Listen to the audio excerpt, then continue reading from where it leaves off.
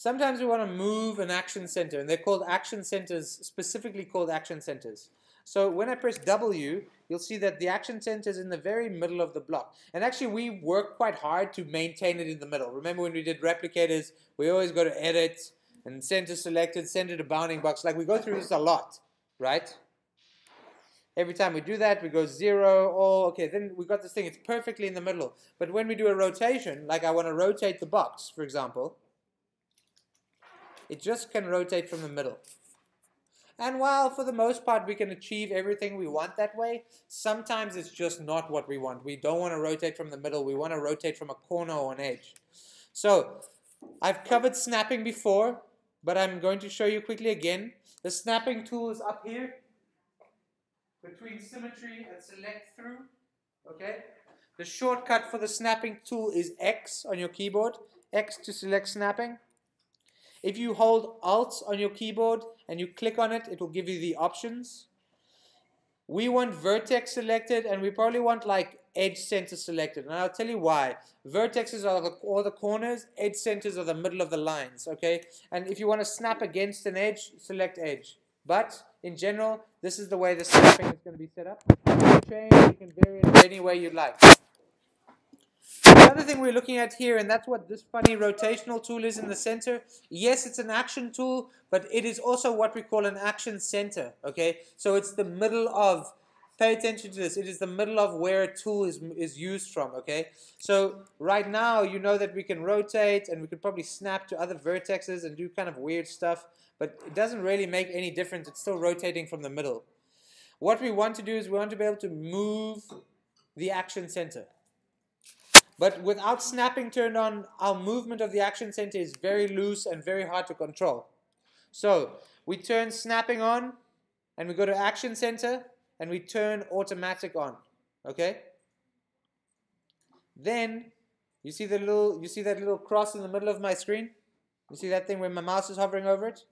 When I get my mouse on top of it, it turns orange. It also will tell me drag this to move it. Okay, so watch what I'm going to do. I'm going to click and drag, and it's going to snap to the things that I have turned on on my snapping.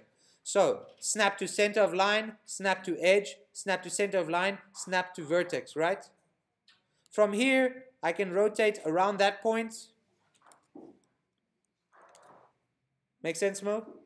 All right, so let me do it one more time. I'm going to do it for the second one. I'm going to grab this one, pick up the move tool, okay? Move tool's in the dead center. I want it to be in the top right corner. How do I move it? Turn on snapping. Make sure in my snapping I have the things I want selected, right?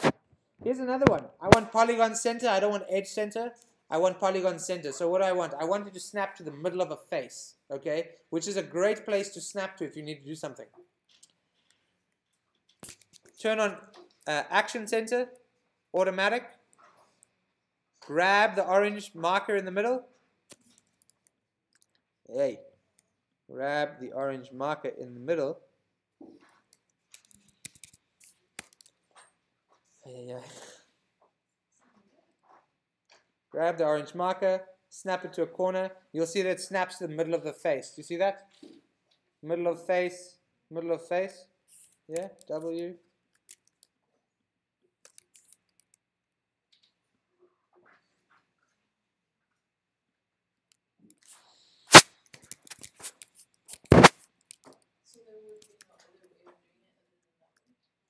So um, one other way to do it is um,